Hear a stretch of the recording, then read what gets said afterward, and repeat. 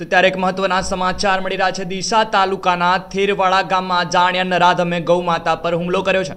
કુહાડી વડે પગ પર ઘા ઝીક્યા છે. ત્યારે જીવદયા પ્રેમીઓમાં રોષનો માહોલ જોવા મળી રહ્યો છે.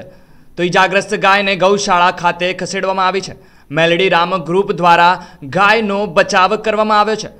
તો ગૌ હત્યા કરવાળાને નરધમોએ કડકમાં કડક સજાની માંગ કરી છે. તો ડીસા તાલુકાના થીરવાડા ગામમાં એક અજાણ્યા નરાધમે ગૌ માતા પર હુમલો કર્યો છે. ગૌ હત્યા કરવાવાળા નરાધમોને કડકમાં કડક સજાની માંગ કરવામાં આવી છે.